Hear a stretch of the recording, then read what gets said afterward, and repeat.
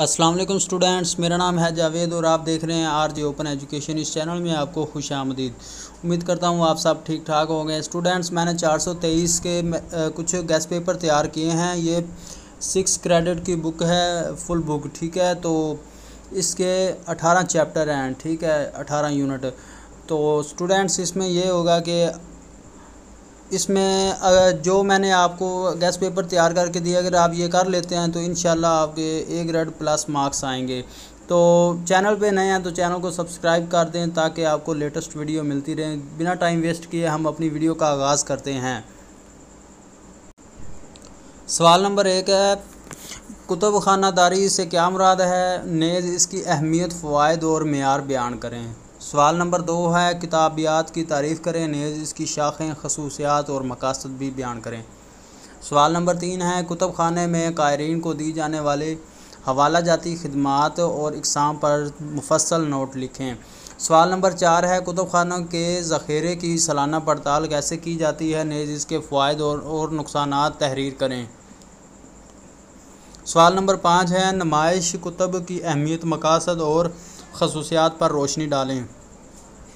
सवाल नंबर छः हैं। कीमती कागजात और किताबों को ख़राब करने वाले अनासर पर रोशनी डालें। नेज़ बचाव के लिए हिफाजती तदाबीर तजवीज़ करें। सवाल नंबर सात है, हवाला जाती खदमात की तारीफ़ करें। फ़रोग अदात के लिए इसकी अहमियत पर रोशनी डालें।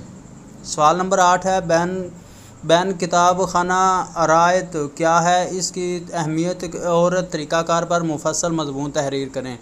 सवाल नंबर नौ है, लाइब्रेरी कैटलॉगिंग से क्या मुराद है? नेज़, इसकी तैयारी में कंप्यूटर के इस्तेमाल पर तफसील से रोशनी डालें। सवाल नंबर दस है, अखबारी तराशों की तारीफ़ करें, नेज़, गैर कागज़ी तराशों पर मुफसल नोट तहरीर करें। सवाल नंबर ग्यारह है, दस्तावीज़ात, कुतब की सफ़ाई, धुलाई और शुकनों को दूर करने के तरीक़ों पर मुफसल नोट लिखें। सवाल नंबर बारह है, कायरीन की इकसाम बयान करें, नेज़ फ़रोग कुतब में नाज़म कुतब खाना का करदार तहरीर करें। सवाल नंबर तेरह है, कुतब की जल्द साजी की ज़रूरत मवाद का इंतखब और रसायल की जल्द साजी पर तफसीली नोट लिखें। सवाल नंबर चौदह है, हवाला जाती महतम कुतुब खाना किसे कहते हैं? नेज़ इसकी खसूसियात फ़राइज़ पर बहस करें। सवाल नंबर पंद्रह है मनाकला कारी से क्या मुराद है? नेज़ इसकी खसूसियात तरीके मैार और फ़वाद पर नोट लिखें। सवाल नंबर सोलह है, पड़ताल के अमल को कंट्रोल करने के लिए तदाबीर लिखें। नेज़ इसके फ़वाद और नुकसान बयान करें। सवाल नंबर सतारह है, ये आपने मुख्तसर नोट लिखना है। स्टूडेंट्स अगर जो एग्ज़ामिनर होता है, वो आपको अगर चार सवाल देता है शॉर्ट तो उसमें से आपने दो करने होते हैं, अगर पाँच देता है तो उसमें से तीन करने होते हैं।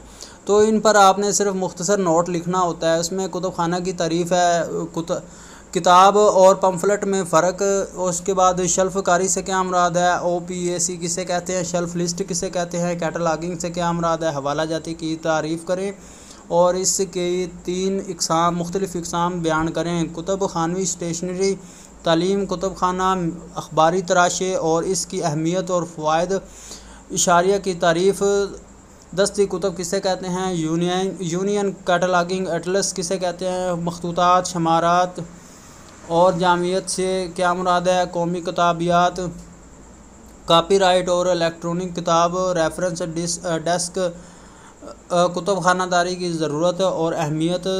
इसके अलावा जी रजिस्ट दाखिला रजिस्टर और तलब नंबर, कुतुब खानवी, मौसलात लेबल कारी तो फ्रेंड्स, ये अगर आप क्वेश्चन कर लेते हैं तो इन आपके ए प्लस ग्रेड मार्क्स आएँगे। तो वीडियो को लाइक कर दें, चैनल को सब्सक्राइब कर दें। मिलते हैं नेक्स्ट वीडियो में। अल्लाह हाफिज़।